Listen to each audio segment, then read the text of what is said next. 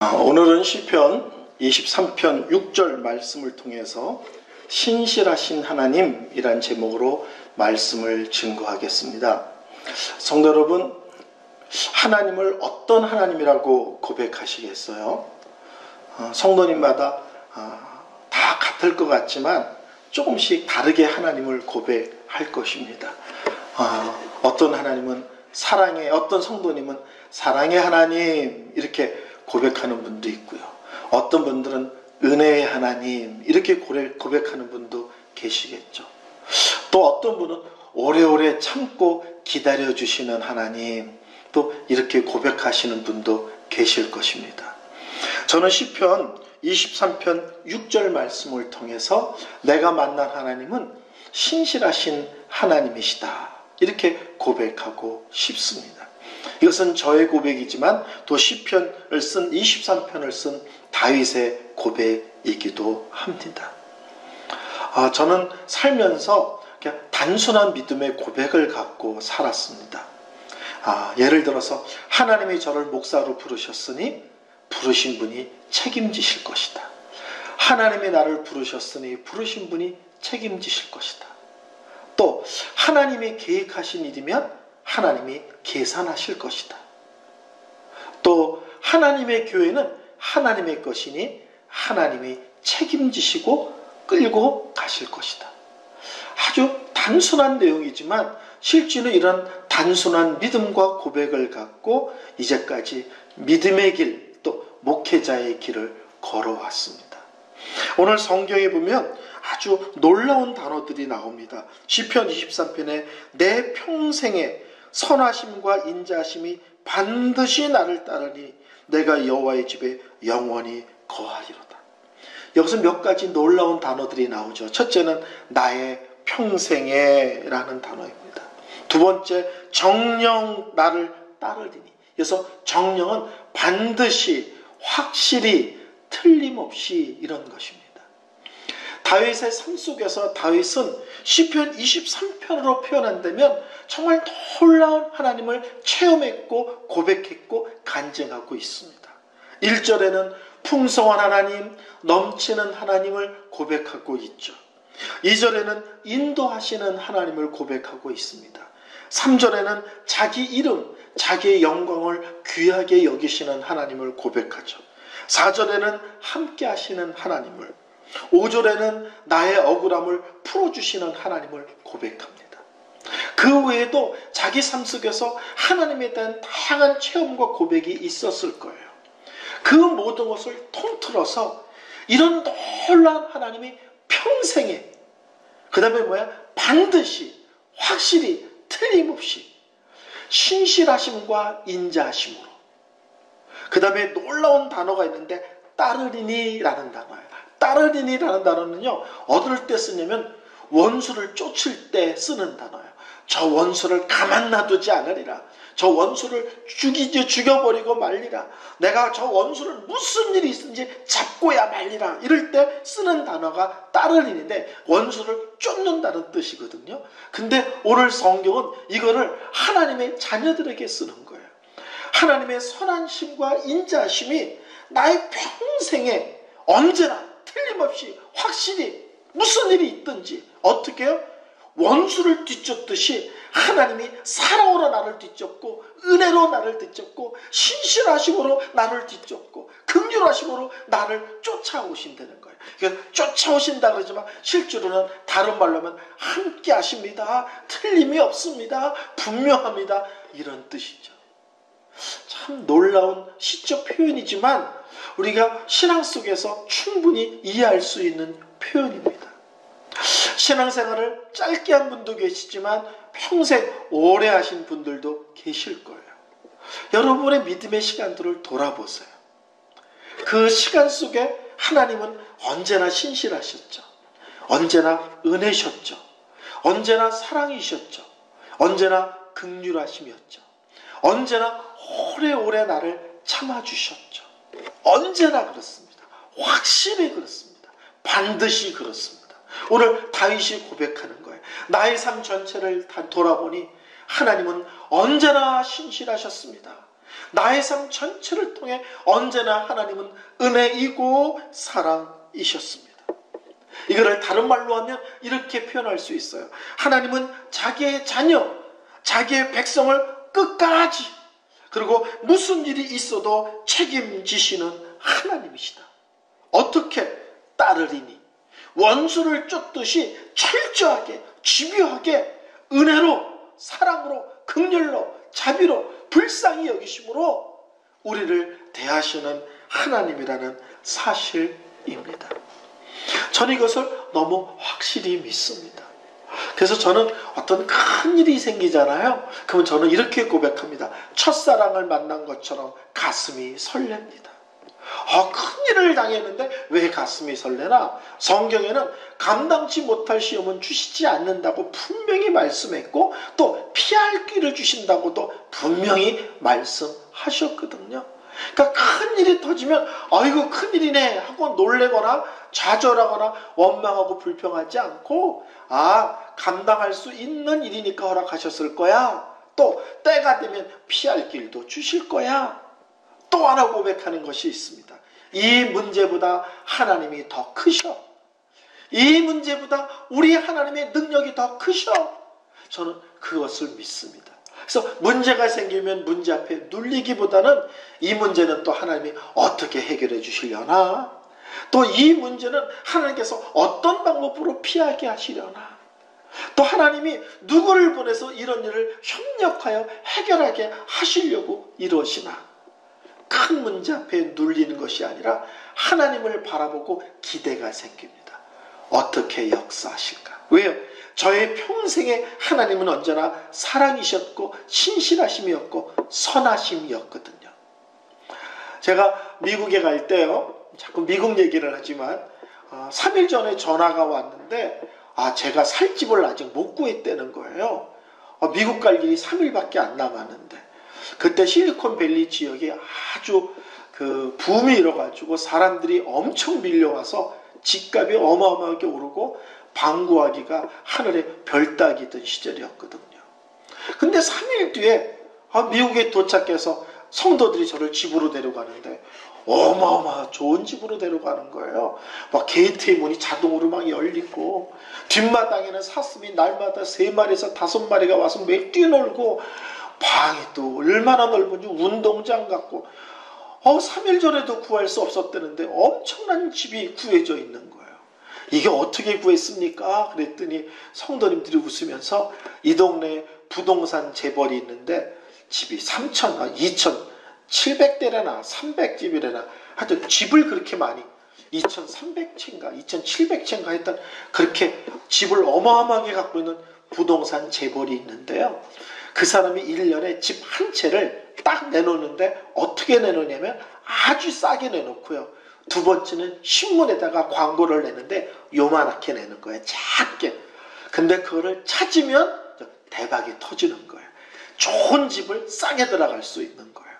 근데 놀랍게도 저를 어, 어, 불렀던 그 교회 권사님 중에 한 분이 그 신문의 모퉁이에 손톱맞게 난그 집에 대한 광고를 보고 그 집을 얻으신 거예요. 저는 하나님이 부르시면 하나님이 책임진다고 믿습니다. 3일 전까지만 해도 목사님 오시면 주무실 곳이 없는데요. 그랬는데 도착해 보니까 어마어마하고 의리의리한 집이 준비되어 있는 거예요. 저는 믿습니다. 부르시면 책임지십니다. 부르시면 책임지십니다. 여러분의 삶 속에서 이런 일들 많이 경험해 보셨죠? 저는 너무 많이 경험해 봤습니다. 제가 30대에 신학교에서 한 8년 정도 부산에 있는 작은 신학교에서 강의한 적이 있어요. 근데 일주일에 한 번씩은 그 학생들 전체가 예배를 드리거든요. 그러면 강의하는 이제 교수들이 돌아가면서 설교를 합니다. 그래서 저도 한 학기에 보통 한 두 번 정도 설교의 기회가 오는데요. 그 사회를 보는 학생들이 보통 자, 아무개 목사님 설교하시겠습니다. 또는 아무개 교수님 설교하시겠습니다. 이렇게 소개를 해요. 근데 저는 신기하게도 아, 하나님 말씀을 지나치게 믿는 목사님이 오늘 설교하십니다. 아니, 언제나 저를 그렇게 소개하는 거예요.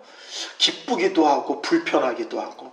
그래서 한 번은 그 사회 보던 그 학생의 임원을 불러서 누가 이렇게 시켰냐?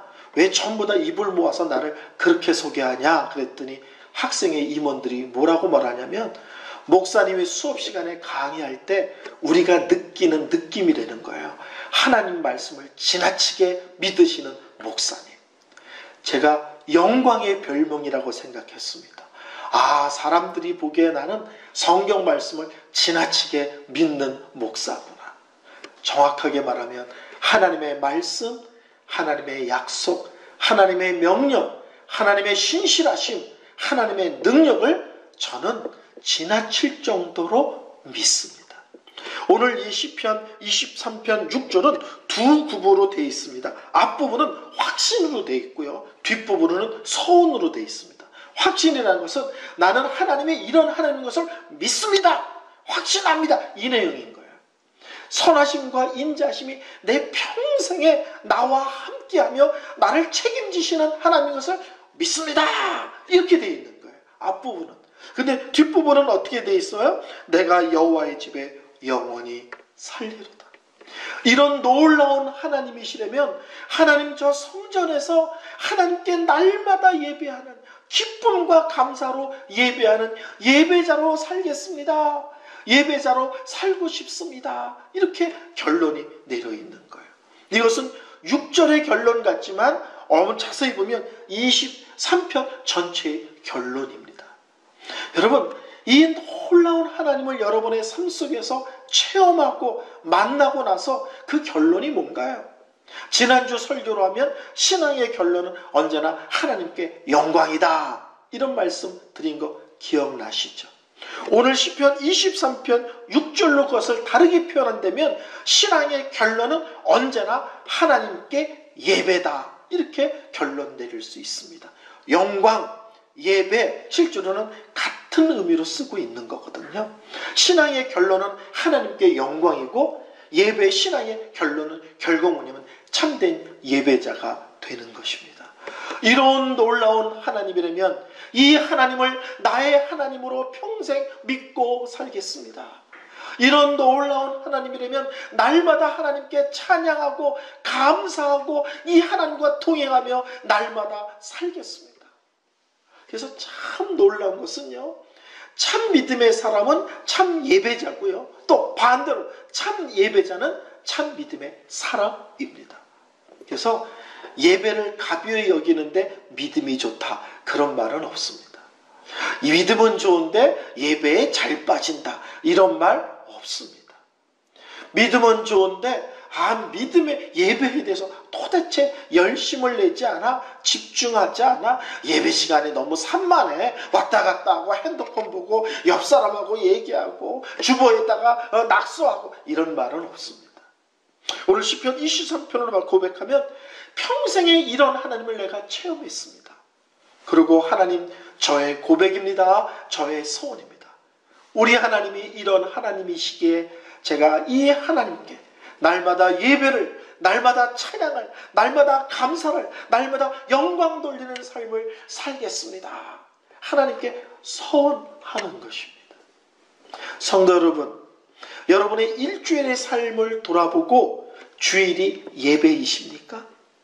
이것을 존 맥아더 목사님은 이렇게 표현했어요. 주중에 하나님을 향하여 아 라는 감탄이 있는 사람만이 주일날 예배 시간에 아 라는 하나님께 감탄을 드릴 수 있는 사람이다. 월요일부터 토요일까지 삶의 자리에서 하나님과 동행하면서 크고 작은 기쁨과 있어 아 하나님 너무 좋아요. 아 하나님 너무 감사해요. 아 하나님 영광 돌려요 평소의 삶 속에서 이렇게 아라는 감탄이 많은 사람만이 주일날 예배하면서 말씀을 들으면서 찬양하면서 기도하면서 성도들과 교제하면서 아 하나님 예배가 너무 좋아요. 아 하나님 믿음의 공동체가 너무 귀해요. 이게 자연스럽게 연결되어 나온다는 거예요. 오늘 다윗의 모습이 그런 것입니다.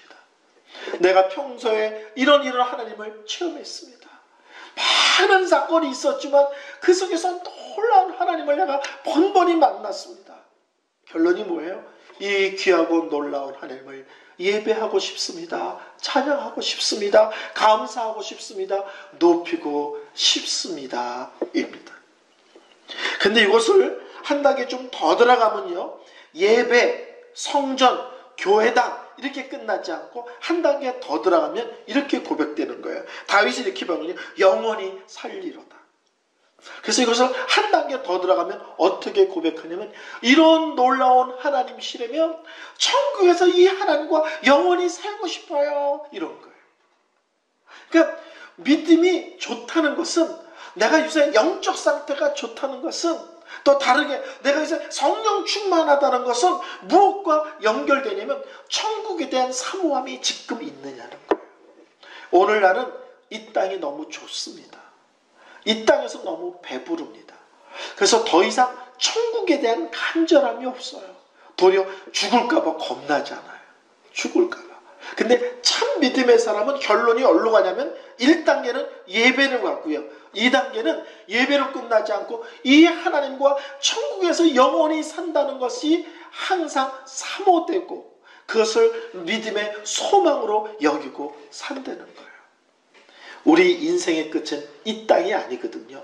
천국이거든요.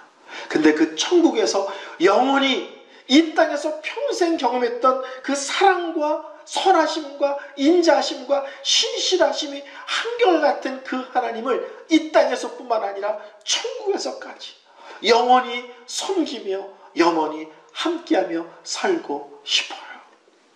자, 성도 여러분, 한번 신앙을 점검해 보세요.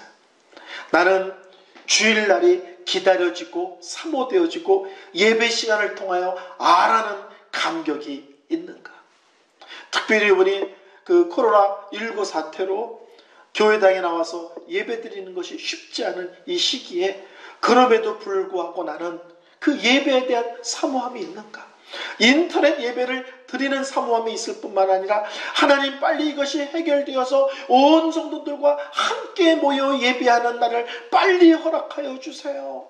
옛날같이 함께 예배하던 그 시간을 사모하며 기다립니다 하는 간절함이 있으십니까? 그것이 오늘 나의 영적인 상태입니다. 예배에 대한 간절함과 소망과 기대가 있는가? 그리고 더 나가서 이 땅에서 이 놀라운 하나님과 매일매일 사는 것도 기쁜데 이 하나님과 영원히 천국에서 함께 산다니 너무 감사합니다. 기다려집니다, 하나님. 죄 속에 천국에 대한 소망이 분명히 있습니다. 이것까지 있으면 요새 내가 신앙이 좋은 거고요. 요새 제가 영적 상태가 아주 좋은 겁니다. 자, 시편 23편을 6주에 걸쳐서 중간에 어버이 주일과 어린이 주일이 껴있긴 했지만 여섯 번에 걸쳐서 우리가 말씀을 들었습니다. 한번 말씀 한 구절 한 구절을 다시 음미하면서 다윗의 고백으로 끝나지 않고 나의 고백, 나의 간증이 되는 성도님들 되시기를 바랍니다. 그리고 그 결론이 그 결론이 23편 6절 내 평생의 선하심과 인자하심이 정령 반드시 확실하게 나를 따르리. 내가 여호와의 집에 영원히 살리로다.